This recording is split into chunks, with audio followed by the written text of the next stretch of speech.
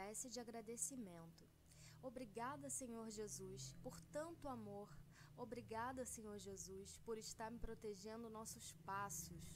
Obrigada, Senhor Jesus, por estar sempre em nossa família. Obrigada, Senhor Jesus, por fazer-me merecedor do vosso amor. Amém.